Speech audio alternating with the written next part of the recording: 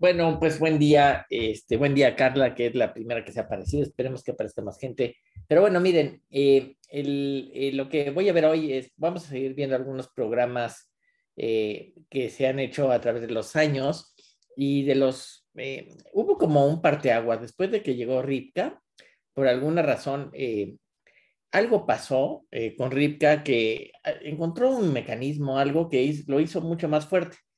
Y y no sé si se hizo ingeniería en reversa o qué fue lo que pasó, pero empezó a haber un montón de programas que empezaron a jugar mucho mejor que antes, ¿no? Es decir, como que, como que hubo un periodo de aprendizaje y de pronto todo el mundo entendió qué había que hacer y a través de, bueno, también de las redes, internet y de muchas comunicaciones, probablemente eh, se empezó a, a, descubrir qué estaba pasando y qué hacía Ripka para estar por encima de todos los demás programas. Y yo creo que Ripka es el parteaguas, es, es un antes y un después de los programas de ajedrez, ¿no? Los programas de ajedrez empezaron a jugar bien, pero por ejemplo se podían, eh, se podían hacer encuentros hombres contra máquinas, o sea, de grandes maestros contra computadoras, por el año 2000, una cosa así, pero después de eso ya era prácticamente imposible, los programas ya empezaron a ganar con tanta facilidad o relativa facilidad a los grandes maestros que ya no tenía mucho sentido seguir trabajando eh, este, sobre la idea de que los, que los humanos juegan contra las máquinas, ¿no? Entonces pasó un poco que, que, se, eh, los programas sirven ahora para analizar y para buscar buenas jugadas, pero ya no se juega con ellos básicamente, aunque hay algunas alternativas al respecto que ya en un momento hablaré cómo usar tu programa de ajedrez para jugar con él y sacar ventaja de eso, ¿no? Pero bueno, eh, hay un programa que se llama Houdini, como, como el mago, que está escrito por el programador belga Robert Houdart, de ahí debe haber sacado este Houdini, ¿no? De Houdart, de ahí debe haber salido. Es un programa de ajedrez UCI, es decir, que tiene una interfaz que se puede conectar a, eh, a través de este protocolo que se llama Universal Chess Interface, UCI.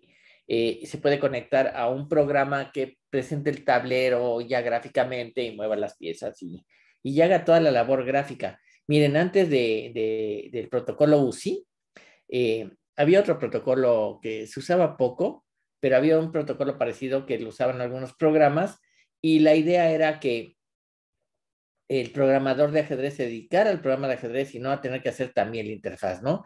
Al principio los programas de ajedrez cada uno traía su propia interfaz.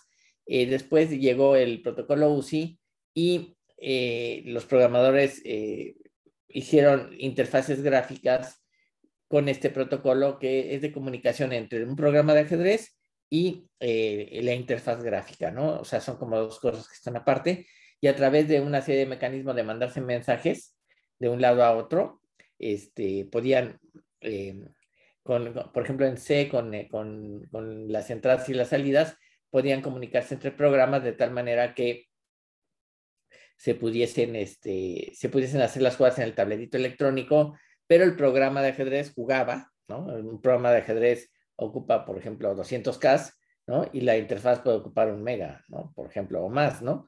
Entonces, de alguna forma, el programa de ajedrez se dedica a lo que se tiene que dedicar y el, la interfaz se dedica a lo que se tiene que dedicar, ¿no?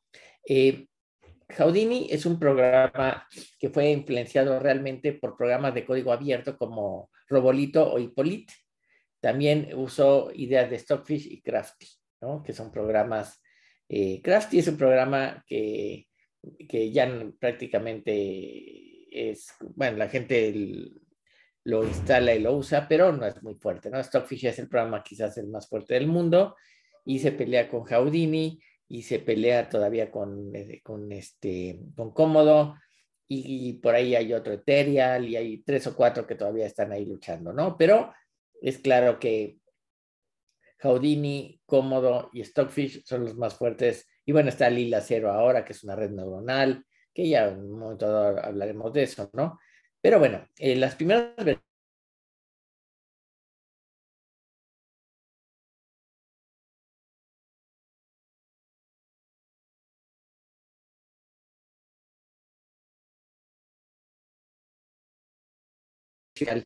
vender su software y desde entonces ya es este, comercial, ¿no? Cuesta un programa de ajedrez de este nivel, cuesta entre 100 y 50 dólares, más o menos.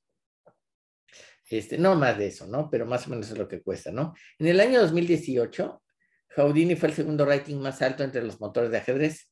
Es decir, fue el segundo en, los programas de computadoras, el primero era Stockfish. Pero este, eh, Houdini estaba por encima de Cómodo, que era el tercer lugar. La primera versión de Houdini salió el 15 de mayo del 2010 y en septiembre del 2011 se liberó la primera versión comercial, la 2.0. Entonces, desde el 2011, o sea, hace 10 años, ¿no? Se tiene este programa comercialmente, ¿no? Hoy la versión más reciente, bueno, cuando escribí esto que fue hace unos meses, la 6, vienen dos modalidades, Houdini 6 estándar y Houdini 6 Pro. Esta última eh, soporta hasta 128, 128 procesadores. O sea, es un sistema distribuido. O sea, hay que reconocer eso. Miren, esto es lo que me parece sorprendente no es solamente un programa de ajedrez, sino toda la tecnología de software está involucrada en esto, ¿no? Por ejemplo, el hecho de, de analizar varias jugadas en paralelo permitiría eh, sacar más provecho de la velocidad de cómputo y entonces eh, Houdini 6 Pro puede soportar hasta una máquina con 128 procesadores, ¿no?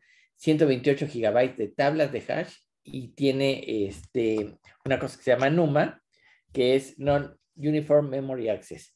Es un diseño de memoria de computadora que usa multiproceso, donde el tiempo de acceso a un dato depende de dónde se encuentra en memoria relativa al procesador. Entonces, bueno, todos estos trucos, este, todas estas cosas, eh, por ejemplo, 128 gigabytes de tablas de hash, que son estas tablas que se generan cuando ya se hizo un análisis, se guarda la información de ese análisis para no repetirlo más adelante si se repite la posición por alguna razón. Entonces, 128 gigabytes, este, es un montón de, memoria, ¿no? Vamos, las máquinas tienen 16 gigas, ¿no? O sí, 16 gigabytes. Entonces, 128 gigabytes, pues estamos hablando de una máquina que seguramente está en un clúster, ¿no? Y 128 procesadores igual, ¿no? No hay computadora casera que tenga 128 procesadores, ¿no? Pero bueno, de acuerdo con el candidato a maestro Trifón Gabriel, un francés, el estilo de juego de Houdini se parece a las grandes partidas de la era romántica del ajedrez, en donde el ataque, sacrificando todo género de material por el jaque mate, era la constante. De acuerdo con Houdart, sin embargo, la ventaja de Houdini sobre otros motores de ajedrez es el manejo de la movilidad de las piezas, lo cual justifica porque favorece el juego agresivo con el que trata de ganar el juego. Entonces, eh, el, algoritmo que utiliza eh, para valorar la movilidad de las piezas es lo que hace que un programa decida más por una jugada que por otra, ¿no? El nombre Houdini se eligió por el estilo posicional del programa, su tenacidad en las posiciones difíciles y su habilidad para defenderse tercamente y escapar con el empate, muchas veces teniendo un margen muy reducido para rescatar la partida. En el 2017, Houdini ganó el TCS, que es el Top Chess Engine Championship, que es un campeonato de computadoras, que les había dicho, el campeonato de computadoras eh, eh, ya no se juega en hoteles como antes, como al principio, ¿no? Sino que los programadores mandan su, software y en una máquina eh, o en varias máquinas, no sé exactamente cómo, juegan entre ellos y juegan 100 partidas, ¿no? En una semana, una cosilla. O sea, juegan una partida, juegan la que sigue, juegan la que sigue, juegan la que sigue. Y después de 100 partidas, se decide quién es el mejor, ¿no? Entonces, este, juegan entre ellos y juegan muchas partidas, ¿no? Y entonces tienen una colección enorme de partidas jugadas por, el, por este tipo de programas, ¿no? Houdini ganó este torneo y, y lo que dijo Houdard en una entrevista en ese momento fue lo siguiente. Eh, él comentó, se siente muy bien ganar el TSEC, ¿no? El, el, el Top Chess Engine Championship y ser el motor con más títulos en este sentido. He trabajado sin parar los dos años anteriores para llevar a Jaudini al máximo nivel y estoy feliz de que todos mis esfuerzos funcionen en este torneo, que es equivalente al título de campeón del mundo. Eso lo dice este hombre, eh, este Jaudart, sobre su programa del 2017. Bueno, eh, Jaudini fue, también tiene sus partidas inmortales. Déjenme decirles que las partidas inmortales son estas partidas que, que, tienen, vamos, que, que, históricamente son formidables, ¿no? Con un montón de sacrificios y con un montón de cosas este, eh, asombrosas, cálculos enormes. Y en el 2011, en el campeonato de, de, este que hablamos, ¿no? El 2011, que todavía no ganaba Houdini, eh, enfrentó a Ripka, que les decía, es el programa, digamos, más este, el, el, que es el parteaguas, ¿no? El que generó que los programas empezaran a jugar muy, muy fuerte de alguna manera, y este, juega con, con blancas contra Jaudini y eh, la máquina es una partida asombrosa. No se las voy a mostrar porque este, eh, eh, no tiene mucho sentido aquí mostrarles estas partidas, pero bueno, este, déjenme decirles que los juegos inmortales, la inmortal, pues, hay una partida muy, muy famosa que se llama la inmortal, que, está, que es Andersen contra Kieseritzi. Andersen y Kieseritzi son dos jugadores seres humanos que en 1890 y tantos jugaron una partida sorprendente y eh, la, historia del ajedrez la cataloga como la partida inmortal.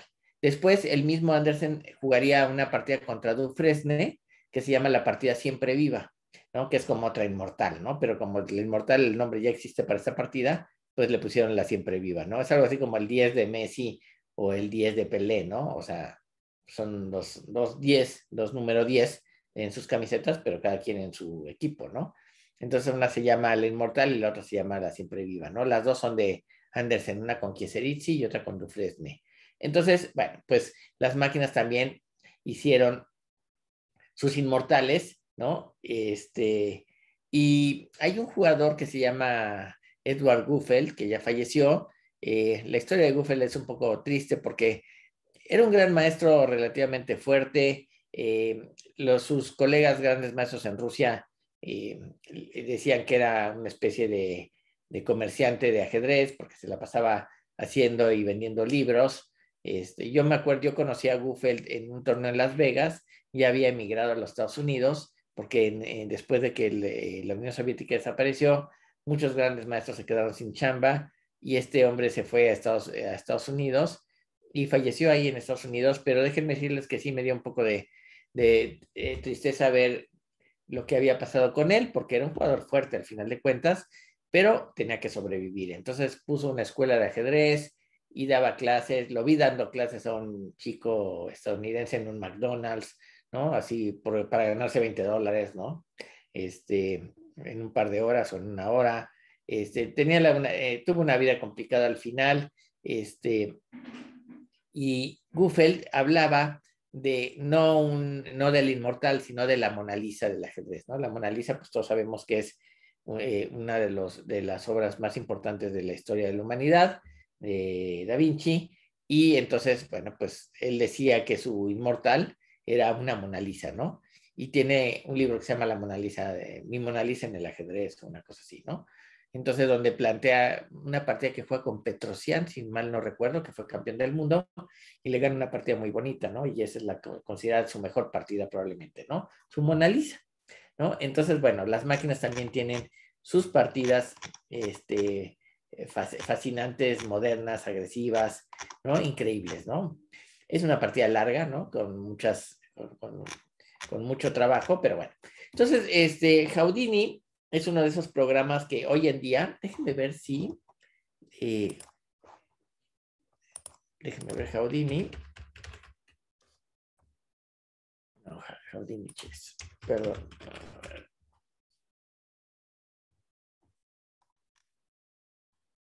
Aquí está.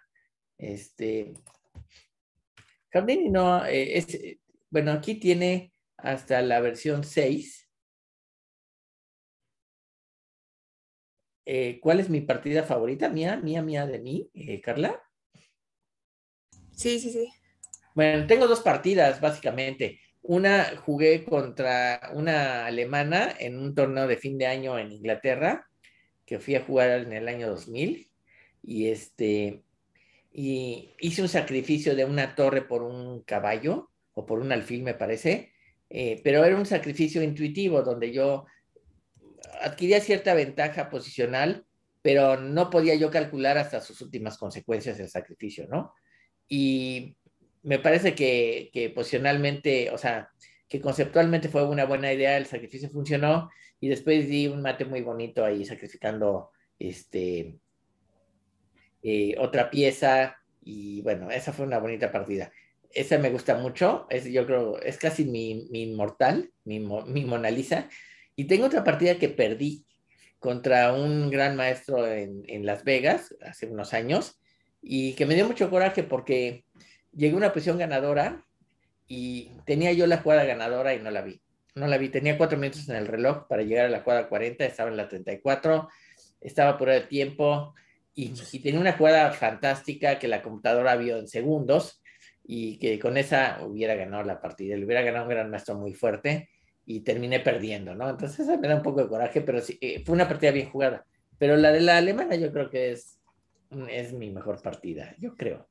He jugado partidas simpáticas, pero esa es la que más, este, este, la que más, bueno, es la mejor partida porque además la gané, ¿no? La que perdí, pues sí, como tú pones ahí, qué triste. sí, pues sí.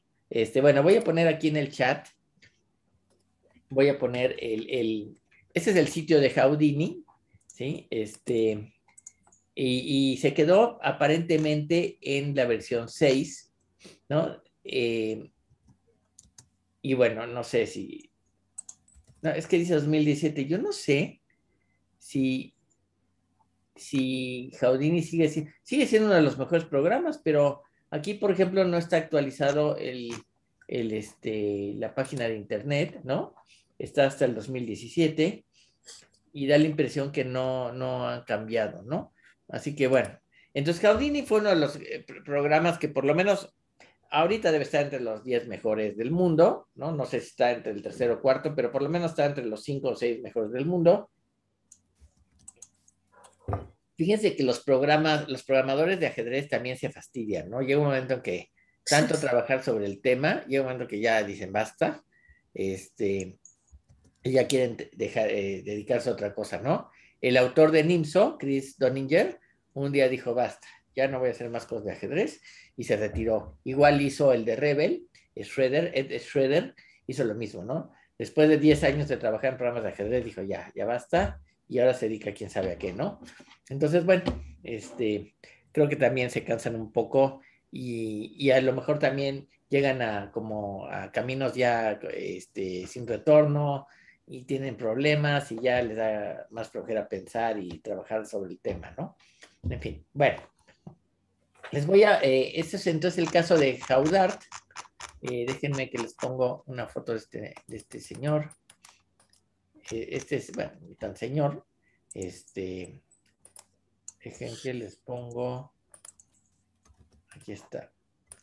Aquí está Jaudart, que es el autor de de, este, de Houdini, ¿no? De este programa, ¿de acuerdo? Bueno, entonces, este es, este, este es uno de los programas, pero desde luego hay muchos más. Por ejemplo, podemos hablar también, y ahora vamos a hablar de Stockfish. Stockfish tiene muchas virtudes. Una de ellas es que es un programa de código abierto que lo hace un grupo de programadores.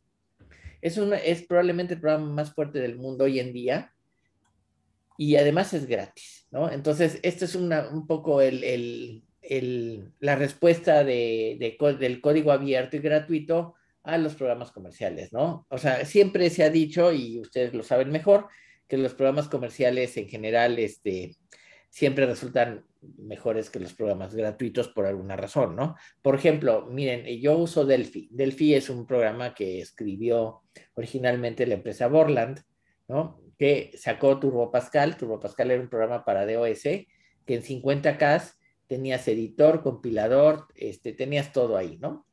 Y, este, y eventualmente pues, se fue haciendo cada vez más, más sofisticado, más poderoso, y hoy en día, cuando entró ya la versión de Windows, se cambió al código del programa, el código clave era Delphi, y le dejaron el nombre, pero es Turbo Pascal, pero para Windows.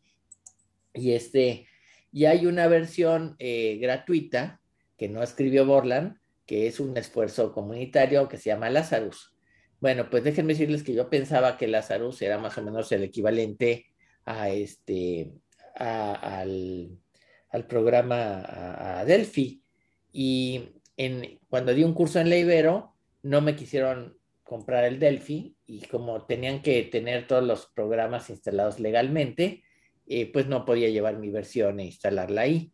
Y que, que coste que tengo la versión comprada.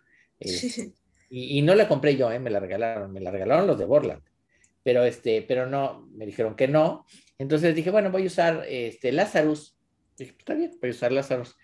Pero Lazarus, eh, para compilar programas sencillitos, así de 10 líneas, para saber cómo funciona, se ve bien. Pero ya para hacer cualquier cosita, tiene una cantidad de errores y de problemas que no se puede usar. El, el, de, el debugger es pésimo, marca una cantidad de cosas raras, no sirve, simplemente no sirve, ¿no?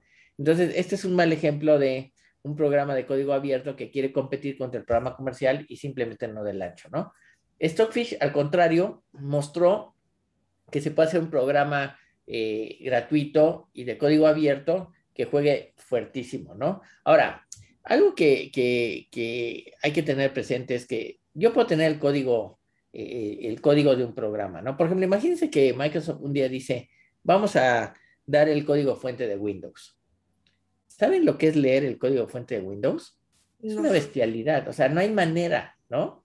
Entonces, aunque lo pongan público, ¿sí? Desde luego, si lo ponen público, no faltará los programadores que lo van a destripar hasta encontrar los mil detalles.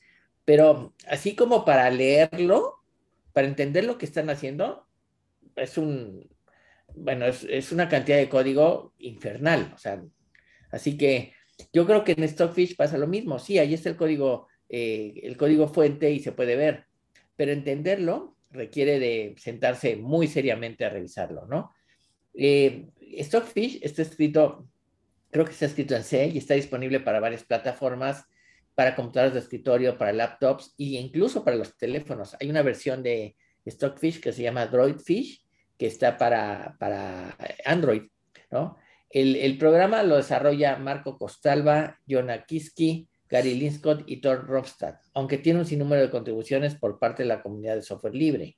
Stockfish es un programa derivado de uno que se llamaba Glaurung, que es un motor de ajedrez escrito por uno de los que lo siguen manteniendo, que es eh, Thor Romstad probablemente estos programadores ni se conozcan en persona, ¿eh?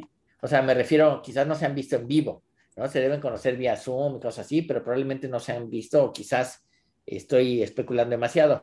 Pero este, a través de Internet hoy en día estos esfuerzos se pueden hacer, ¿no?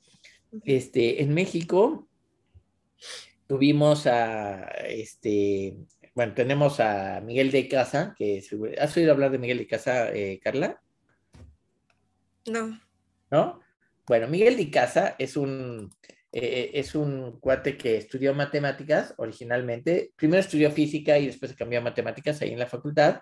Es hijo de Miguel de Casa, que es un físico de la UNAM, que trabaja en el Instituto de Física, el doctor Miguel de Casa, creo que se llama Miguel de Casa también. Este, y Miguel era muy inquieto de jovencillo, y entonces eh, su papá lo, lo llevaba al Instituto de Física y ahí empezó a, aprender a programar, me da la impresión, y como tenía ahí a los investigadores, pues les hacía algunas chambitas a los investigadores y demás, y ahí empezó a programar muy bien, ¿no? Eventualmente eh, se volvió muy, muy buen programador y escribió un programa que se llama eh, Midnight Commander. Eh, el programa se llamaba, originalmente se llamaba, el Midnight Commander es una especie de eh, de, ¿cómo se llama? Del, ah, ¿cómo se llama esto? Ahorita les digo. Este, eh, de un explorador de Windows, ¿no? El explorador de archivos de Windows, que, este, que funcionaba como el Norton Commander. Norton Commander era un explorador de, de, en modo texto, ¿no? Para la PC. Y Miguel Di Casa escribió un programa que se llamaba eh, Mouseless Commander era originalmente, el Mouseless Commander era un, explorador de los archivos de una máquina Linux, pero no usaba el ratón, entonces le puso Mouseless Commander, ¿no? En lugar de Norton Commander se llamaba Mouseless Commander, ¿no? Con el tiempo alguien le agregó el, soporte al ratón y le llamaron Mouseless Commander with Mouse Support, ¿no? Y, este, y después de eso, eh, se cambió el nombre a Midnight Commander y Miguel era el líder de ese proyecto. Eh, Elisa Viso, ¿sí sabes quién es Elisa Viso o no? Sí, de ella sí. Bueno, ya, ya Elisa se retiró, pero este, ya, ya se jubiló. Pero Elisa Viso le dijo una vez a Miguel, pues ahí está tu tesis, solo te faltan las materias, ¿no? O sea, ya tenía una tesis de licenciatura con su programa Mouseless Commander, porque era un navegador de archivos muy bien hecho, muy bien escrito. Miguel es un programador de primer nivel, sin duda. Y eventualmente Miguel consiguió, eh, trabajaba en Linux y consiguió eh, este, contactarse con algún estadounidense que se convirtió en un muy buen amigo de él y eventualmente pusieron una empresa en Estados Unidos y Miguel se fue a vivir a Boston. Y le dieron un montón de dinero los inversionistas para, que, para que veas cómo funcionan las cosas en el mundo del cómputo moderno. Si tú haces una empresa aquí en México, bueno, pues tú pones la empresa, tú pones el dinero, tú pones los salarios, tú pones todo y, y a ver cómo te va. No, en Estados Unidos, si tú tienes una buena, eh, buena idea, hay inversionistas, ¿no? Que deciden que si los convences, te reúnes con ellos y si los convences, te dan dinero para que puedas hacer una empresa. Pero los inversionistas son los que mandan, ¿no? Por ejemplo, eh, has oído hablar que Steve Jobs lo corrieron de Apple, ¿no? Si sabías eso, ¿no? Ah, sí, sí, sí, sí. bueno, ¿cómo puedes creer que Steve Jobs lo corrieron de su propia empresa, ¿no? Bueno, porque los inversionistas, Steve Jobs no estaba dando resultados, entonces lo corrieron, ¿sí? Porque Steve Jobs sí es el, es el presidente de la empresa, pero no es el dueño, el dueño son los inversionistas, ¿no? Entonces, ellos son los que deciden de alguna manera eh, las políticas y lo que tienes que hacer como empresa, tú es pues darles las ganancias esperadas, porque si no te corren, te pueden correr de tu propia empresa.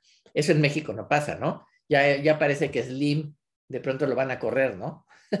¿No? Pues nunca lo van a correr a Slim, ¿no? Pues él es el dueño de la empresa, ¿no? Y es el que pone el dinero, ¿no? Bueno, pues aquí en Estados Unidos no funciona así. En Estados Unidos, a Miguel de casa y a su amigo, que ahorita no me acuerdo su nombre, pusieron una empresa que, este, que eventualmente, no me acuerdo cómo se llamó, eh, Helix creo que se llamaba, y eventualmente se llamó Samarin, ¿no? Pusieron una empresa de software y después Miguel, antes de poner Samarín, se salió, bueno, de, este, eh, vendió la empresa que tenían o se deshizo, le pagó a los inversionistas sus ganancias y él se fue a trabajar a Nobel como vicepresidente de software libre. Eh, Miguel ha recibido premios en Estados Unidos por su amplia capacidad en software de programación e incluso salió en una película haciendo un cameo entregando un premio a alguien de la película, ¿no? O sea, hizo eh, salió como Miguel de Casa en la película, ¿no? Y este, y Miguel es un tipazo, es muy buen amigo mío. Yo le di clases a Miguel, bueno, eso de que le di clases es un decir. Yo daba un curso de, de y Miguel lo iba a tomar y cuando entró Miguel y lo vi en el curso le dije, pues Miguel, este, pues tienes 10, yo no te puedo enseñar nada de cómputo, o sea, tienes 10, ¿no? Este, no, un tipo muy, muy capaz y este, y, pero se tuvo que ir a vivir a, Estados Unidos para trabajar en este, en, en, cómputo, ¿no? En, hoy tiene, después tuvo una empresa que se llama Samarín, y hicieron un montón de cosas porque corrieron a todo el grupo de código abierto y de software libre de, de Nobel, ya no les interesó, y pusieron Samarín, y después Samarín se la compró Microsoft. Entonces, este, desde luego, Miguel no, o sea, no sé, nunca sabré, no, ni le pienso preguntar cuánto dinero le pagaron por la empresa, pero la mayoría del dinero fue para los inversionistas, desde luego, ¿no? Y este, Miguel pasó a ser parte de, de, Microsoft. Miguel trabaja hoy en día en Microsoft, ¿no? Y le va bien, ¿no? Este, bueno, le digo todo esto porque eh, este, el esfuerzo que hizo Miguel con Mouseless Commander, que se convertiría en un paquete estándar de Linux que se llama Midnight Commander. Eh, déjenme ver si tengo aquí un enlace a Midnight Commander.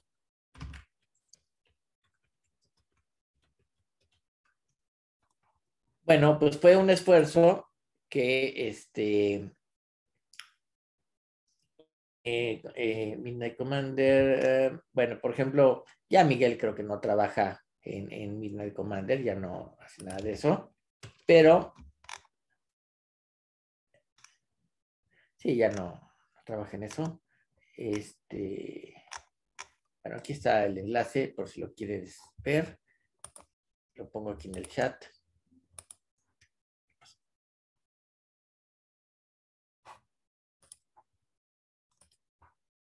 A ver. Perdón, es que no, no veía la, la, página de, de Zoom. Y en el chat voy a poner el enlace de Midnight Commander. No, no sé si en algún lado está la historia de ahí de Midnight Commander. Seguramente, este, seguramente hay un wiki, ¿no? Midnight Commander, sí. Sí hay un wiki. E, este, ah, pues aquí está, ahí está la historia de hasta de Miguel ahí que habla del Midnight Commander. Miguel es un super programador, ¿eh? de veras es una de las personas que más, este, la verdad es, admirable el trabajo que ha hecho y además, este, tiene peso, ¿no? Sus decisiones tienen peso, hace las cosas, hace las cosas muy bien.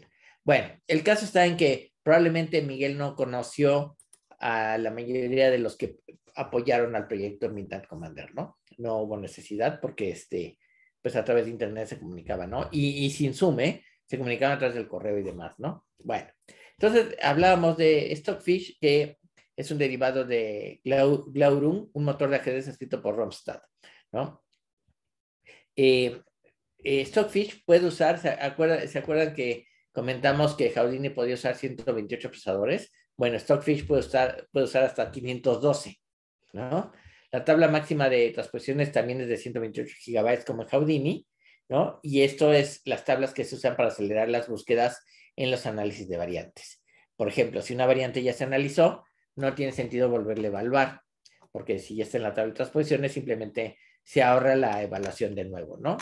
Stockfish usa una búsqueda avanzada alfabeta y trabaja con bitboards. Bitboards es una técnica muy simpática que ahorra tiempo para encontrar las jugadas correctas, o sea, para encontrar las jugadas legales en una partida de ajedrez. Y son arreglos de bits y cada, eh, cada bit representa una posición o un estado del juego.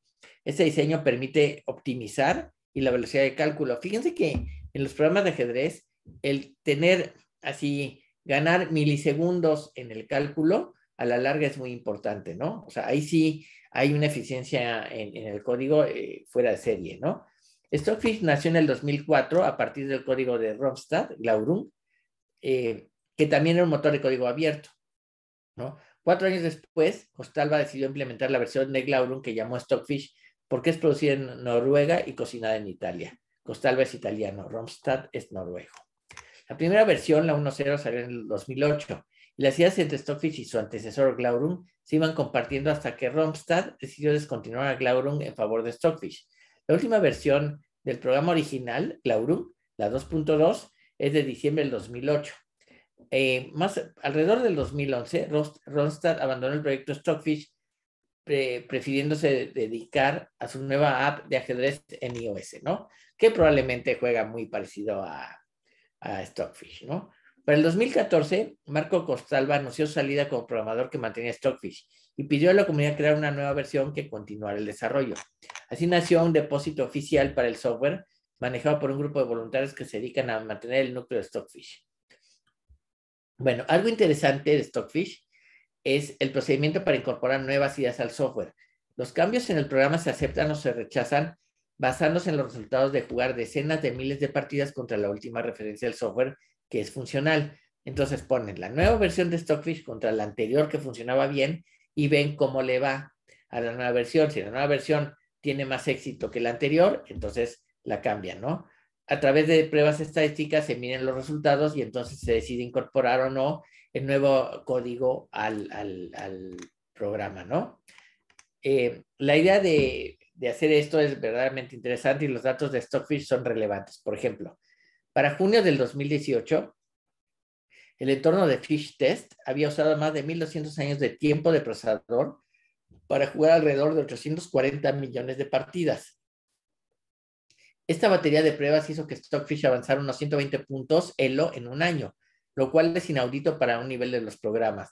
Normalmente un programa de ajedrez sube no más de 50 puntos por año, ¿no? El autor de Fish Test es Gary Linscott, quien ha sido añadido a la lista de autores de Stockfish por sus, por sus contribuciones al software, ¿no? Eh, Stockfish tiene partidas extraordinarias contra la red neuronal alfa 0, que es la partida que, es, el sistema de Deep, Deep, eh, DeepMind de Google. Eh, Stockfish le juega en el 2018 una partida o otra inmortal, ¿no? Que le sacrifica hasta el perro, es increíble esa partida, ¿no? Y este, y bueno, estos son dos programas muy, muy importantes. Yo creo que hoy en día Stockfish, yo no sé quién, a ver, déjenme ver si podemos ver quién, quién hace Stockfish hoy.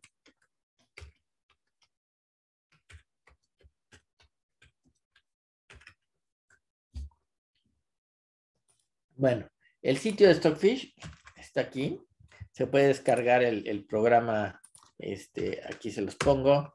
Este, se puede descargar el, software directamente. Hay un blog, ¿no? Este, está el código abierto, están los resultados de, de, Stockfish. Ha ganado 11 veces el campeonato este que ganó Houdini. Stockfish lo ha ganado eh, 11 veces y hay un blog. Este, y por cierto, eh, bueno, en Stockfish, eh, eh, es que hay, hay, una, bueno, ya, ya vamos a hablar de Fritz, ¿no? Y este, resulta que obviamente los programadores quieren vivir de sus programas de ajedrez y entonces algunos programadores han, este, y los han puesto a la venta, ¿no? Pero, pues los programas se vuelven obsoletos, se empiezan a hacer programas que juegan mejor y demás. Y Chessbase, una empresa alemana que hace software, tiene un programa que se llama Fritz. Y entonces sacaron una versión que se llamaba Fat, Fritz. Y Fat Fritz utiliza una red neuronal. Pero eh, Stockfish piensa que eh, Fat, Fat Fritz en realidad es, este, es Stockfish modificado. ¿sí? Eh,